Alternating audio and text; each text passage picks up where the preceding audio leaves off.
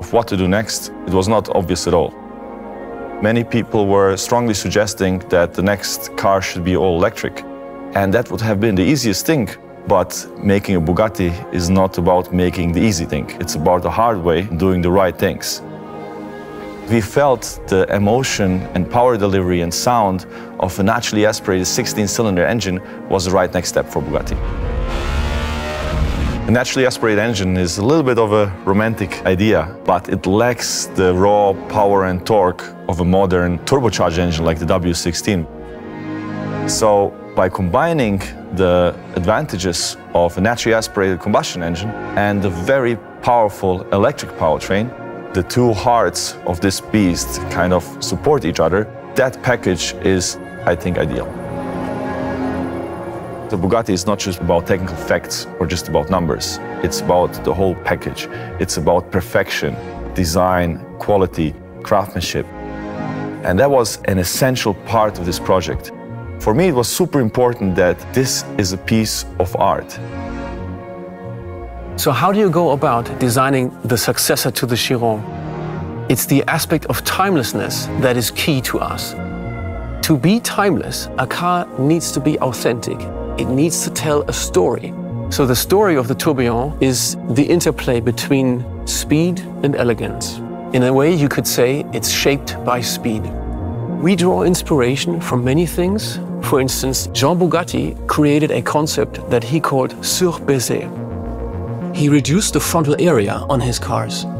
There is no aerodynamic factor other than frontal area that has a greater influence on the speed of a vehicle. In front view, the Tourbillon seems much wider than any car we did before, just because it is so much lower. This is about proportions. Before we even speak about any design theme or color or line, the proportions have got to be just right. The tourbillon is a distillation of Bugatti's DNA. The accentuated center line inspired by the Atlantic, the new wide proportion horseshoe grille, and the Bugatti line on the side, which is also the physical parting line between the two colors on the two-tone paint scheme. Once you open the door, the interior design is a complete revolution. It is where digital detox meets the art of watchmaking, the haute horlogerie. So we have chosen to do the entire human-machine interfacing about displaying information and operating the car in an analog fashion. The center console is machined from solid aluminium, set within real crystal glass. The tourbillon is a timeless design that is not made for the future, but for eternity.